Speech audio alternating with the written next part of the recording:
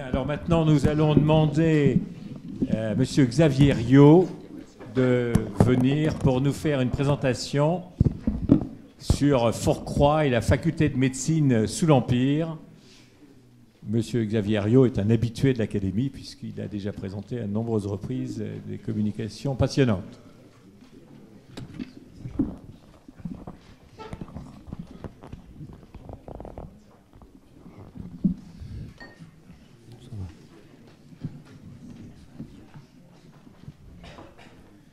Messieurs les présidents, monsieur le secrétaire général, mes chers collègues, bonjour. Euh, monsieur le président, merci d'avoir fait mon préambule tout à l'heure. Euh, sans le savoir, vous avez euh, introduit mon travail, puisque je vais en parler un petit peu, de l'école centrale de santé et de l'ancienne Académie royale de chirurgie. dans un premier temps, je vais vous parler de Fourcroy, qui est le grand réformateur de l'enseignement hospitalo-universitaire puis la faculté de médecine sous l'Empire, anciennement l'école centrale de santé à partir de 1794, son rôle, sa composition, et puis on terminera par une petite conclusion. Euh, j'ai 15-20 minutes pour vous présenter tout ça sur un sujet aussi vaste. Il est évident que j'ai été obligé de synthétiser. Je ne vais pas parler de la société d'émulation médicale qui a été fondée en 1796 pardon, et qui va pourvoir l'école centrale et la faculté de médecine de 15 enseignants, dont Dominique Larrey. Je ne vais pas parler de l'Institut des collections anatomiques de Rouen, qui a été fondé pour l'école centrale et la faculté de médecine. Euh, je vais me borner à ces deux axiomes principaux. Donc s'il y a des omissions, je vous prie de m'en excuser. Donc euh, le 8 août 1793, la Convention va voter la fermeture de toutes les académies et de toutes les sociétés savantes. Fourcroy est un médecin qui a été formé par l'anatomiste Vic Dazir, qui est le père de l'anatomie comparée. C'est un fin politique qui figure en quatrième position sur la liste de Marat, qui est présent dans le comité de salut public. Et Fourcroy est impliqué, euh, il est impliqué de tout son poids dans la mesure de fermeture de ces académies et sociétés savantes. Voici notre homme à la, droite, à la, euh, gauche de Napoléon. Pardon. Les deux hommes vont travailler de concert et euh, avoir une action euh, extrêmement prolifique. Euh, il va faire voter, faut croire, la, loi du 4 décembre 1793 par la Convention qui va viser à instaurer trois écoles centrales de santé, Paris, Montpellier et Strasbourg. Euh, Montpellier et Strasbourg ne vont pas avoir l'aura de celle de Paris, mais vont exister tout de même. Il va mettre aussitôt en chantier la fondation de ces trois écoles qu'il va faire travailler conjointement avec les hôpitaux attenants. Euh, à partir de 1802, euh, je le dirai plus loin, enfin je vais le dire maintenant, mais euh, Bonaparte, va missionner Fourcroy et le faire devenir directeur de l'instruction publique. Donc, outre les réformes médicales, il va être chargé aussi de réformer tous les collèges et les écoles de France, ce qui est un travail considérable, mais il va s'acquitter de sa tâche avec brio. Il va militer donc à partir de 1802 pour une réforme de la médecine et une large part dans la loi du 10 mars 1802 qui fixe la durée des études, leur programme et la sanction des études par des examens et un à la soutenance d'une thèse. La loi du 11 avril 1803 a pour seul père euh, Fourcroy. Il va mettre en place trois écoles de pharmacie, Paris, Montpellier et Strasbourg, comme par hasard les trois euh, qui euh, suivent les écoles de santé. Et il va participer activement à l'enseignement. Foucroy, je l'ai dit, est directeur de l'instruction publique à partir du 20 septembre 1802, missionné par Bonaparte.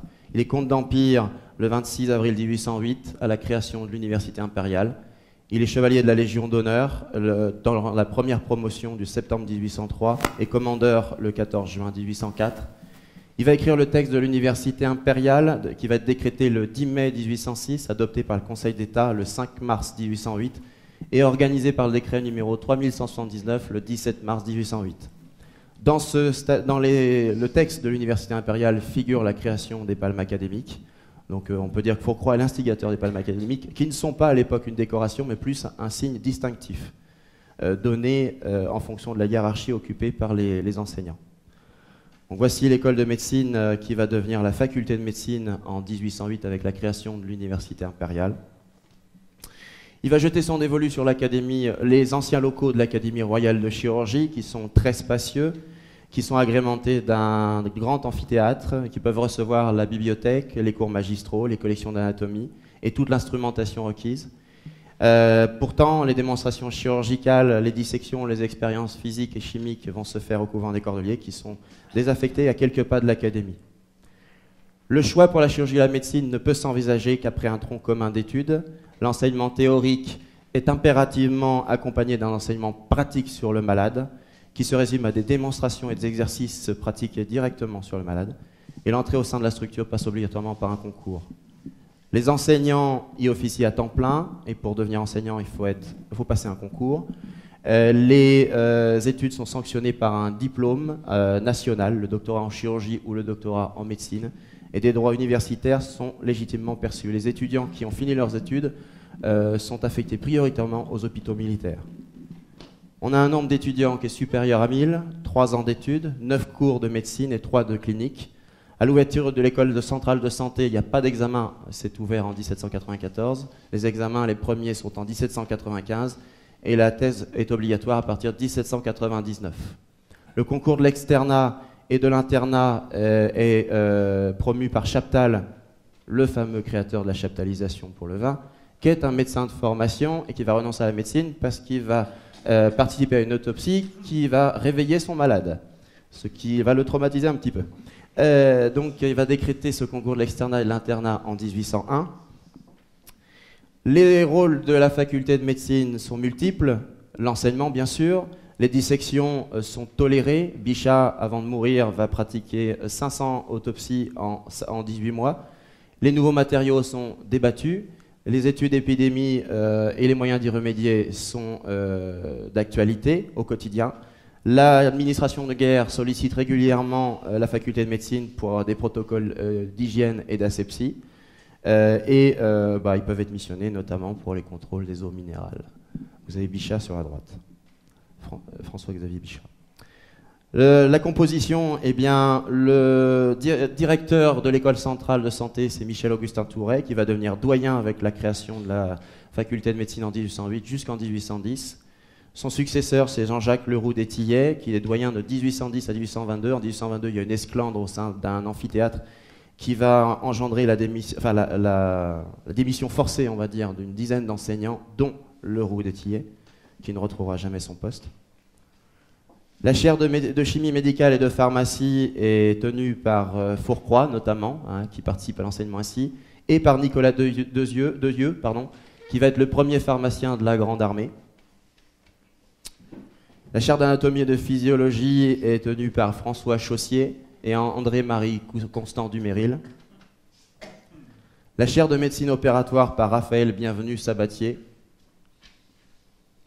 La chaire de médecine légale et d'histoire de la médecine par Pierre Sou, qui est l'oncle d'Eugène Sou, le grand écrivain, médecin euh, à la base également, parce que c'est une famille de médecins, la famille Sou. Euh, la chaire d'histoire naturelle médicale euh, tenue par André, Antoine Laurent de Jussieu, qui appartient à la famille des Jussieu, botanistes de Lyon. Antoine Laurent de Jussieu va diriger à partir de 1794, être le premier directeur du Musée national d'histoire naturelle nouvellement, nouvellement créé. Et puis tenu également par Achille Richard. La chaire de physique médicale et d'hygiène, Jean-Noël Allais, euh, qui, va euh, qui va faire partie de la noblesse d'Empire, qui va être un grand spécialiste de l'asepsie en France et qui va euh, être médecin dans la maison de l'empereur, mais qui ne va pas s'entendre avec l'empereur parce qu'il va refuser de loger à proximité de l'empereur, et ce qui va créer une discorde entre deux. René Nicolas Dufriche des Genettes, premier médecin de la Grande Armée, c'est lui qui va s'inoculer le, typhus euh, exanthématique euh, pendant la campagne d'Égypte et montrer euh, la peste pardon la peste pardon. Et, démontrer ainsi aux soldats que bah, peuvent continuer à marcher que lui il est toujours en bonne santé et de fait il va rester en bonne santé. Pierre-François Percy qui est le premier chirurgien de la grande armée et qui va être dans la noblesse d'empire aussi. Anthem Balthazar Richeran également pour la chaire de pathologie externe. La chaire de pathologie interne, Philippe Pinel, euh, qui est connu pour certains de ses protocoles psychiatriques notamment. La chaire de l'art des accouchements, euh, Jean-Louis Baudeloc, Alphonse Leroy, les deux responsables de l'enseignement. La clinique interne à la charité, Jean-Nicolas Corvisart, premier médecin de Bonaparte à partir de, 1789, puis euh, de l'empereur à partir de 1804. qui va aussi tenir la maison de santé de l'empereur. C'est lui qui assurera les nominations des médecins, toutes spécialités confondues, auprès de, la famille impériale. Jean-Jacques Leroux d'Etillet, le futur doyen de la faculté de médecine. La clinique externe à l'Hôtel Dieu, Philippe Jean Pelletan, qui va être un des médecins de la maison de santé de, l'empereur, et qui c'est lui qui va notamment récupérer le cœur de Louis XVII. Alexis Boyer, premier chirurgien euh, euh, de l'empereur. Et la clinique de perfectionnement à la faculté par Antoine Dubois, l'accoucheur de Marie-Louise, et Philippe Petit-Radel. En conclusion, ben, Napoléon n'aime pas Fourcroy, il lui fera réécrire 23 fois le décret de l'université impériale. Euh, au grand désarroi de Fourcroy, euh, Napoléon ne va pas le nommer à la tête euh, de l'université impériale, il le, destine aux mines.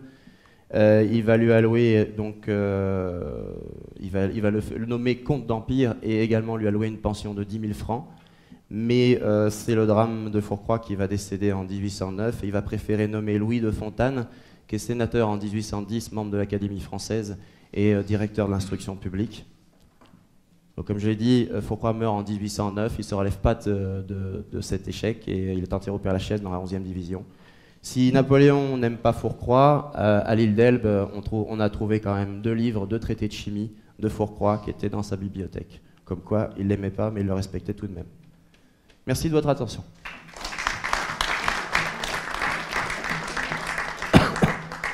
Avez-vous des questions à poser à Xavier Rio sur cette présentation?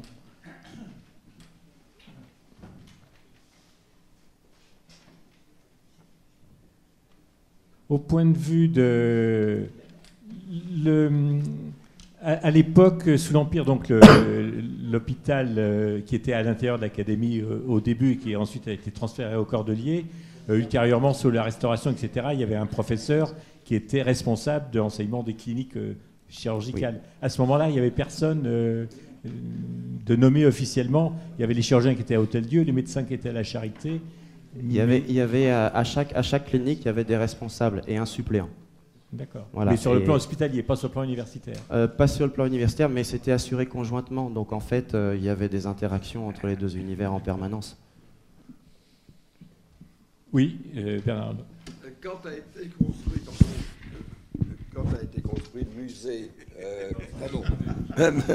le musée actuel, parce que le musée actuel n'existait pas quand on a construit la faculté, enfin quand on a construit plus exactement le, euh, l'Académie royale de chirurgie et les locaux où se trouve le musée ont été construits après. Et je pense que c'est au moment où on a créé ces écoles centrales de médecine. Alors là, je, ne saurais pas vous dire. C'est possible, vu qu'il y avait déjà un enseignement d'histoire de la médecine euh, dirigé par Pierre Sou.